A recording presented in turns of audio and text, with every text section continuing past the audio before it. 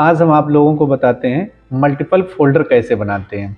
Multiple मतलब एक साथ कई सारे फोल्डर बनाना। एक एक फोल्डर तो सभी लोग बना लेते हैं कि कंट्रोल शिफ्ट एन किया शॉर्टकट की से बना लिया, या राइट बटन क्लिक करके न्यू पे गए और यहाँ पे फोल्डर बना लिया। इस तरीके से सभी लोग बनाते हैं।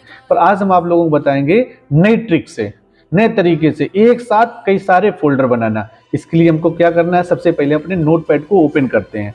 तो ओपन करने के लिए विंडो प्लस आर यहाँ पर नोट पैड टाइप कर लेंगे। ये देखो नोट पैड टाइप कर लिया हमने। नोट पैड टाइप किया और इसको हम ओके कर लेते हैं। ओके करने के बाद यहाँ पे नोट पैड ओपन हो गया। नोट पैड ओपन पे हम कोई भी नाम लिख रहे हैं, थोड़ा फ़ॉन्ट साइज़ छोटे हैं। आप लोग थोड़े बड़े करके दिखाते हैं। फ़ॉन्ट साइज़ यहाँ फ़ॉन्ट पे गए और यहाँ पे हमने साइज़ थोड़ा थोड़ा सा बस साइज़ ले लिया और जो जिस नाम से फोल्डर बनाना चाहते हैं, उन नाम डाल देंगे। जैसे हमने एक फोल्डर का नाम अमित रखा इसके बाद में स्पेस देना है। स्पेस देना ज़रूरी है। जो स्पेस नहीं देंगे तो दिक्कत होगी हमको। फोल्डर जिसे अलग अलग बनाते हैं तो स्पेस भी देना पड़ेगा। तो दूसरा नाम है रामू ले लिया। अब आप लोग जिस नाम से चाहें उस नाम से बना सकते हैं। फिर स्पेस दिया हमने। नेक्स्ट नाम है सुनील। कोमल। सोनू। ये हमने अलग अलग नाम से एक, दो, तीन, चार, पाँच। पाँच फोल्डर बना रहे हैं एक साथ, ठीक है ना? पाँच नाम लिख लिए। यहाँ पे थोड़ा कर्सर को यहाँ अमित के पास लाएँगे स्पेस फिर यहाँ पे हम लिखेंगे एम डी यहाँ पे एम डी लिखना आवश्यक है।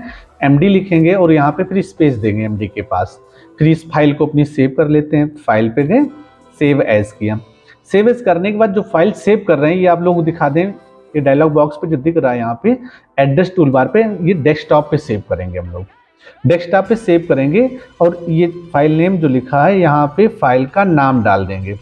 जिस नाम से फ़ाइल सेव करना चाहें, जैसे यहाँ पे हमने सीफा लिख दिया। ये a dot B A T जब फ़ाइल सेव करेंगे तो डॉट बी ए टी ये लिखेंगे। यहाँ पे लिखना बहुत ज़रूरी है तो ये सेव कर देंगे ये। सेव करने के बाद ये नोट पैड को क्लोज कर दिया। तो यहाँ पे देखेंगे सीफा नाम से देखो हमारा आइकन आ रहा है ये।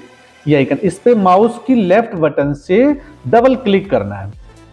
जैसे हम डबल क्लिक करेंगे, ये मल्टीपल फोल्डर हमारे बन के तैयार हो गए। देखिए, अमित का, सोनू का, कोमल का, सुनील का, इस तरीके से एक साथ हम मल्टीपल फोल्डर बना सकते हैं। अगर ये वीडियो हमारी पसंद आई हो आप लोगों को तो इसे लाइक करें, शेयर करें और सब्सक्राइब करें।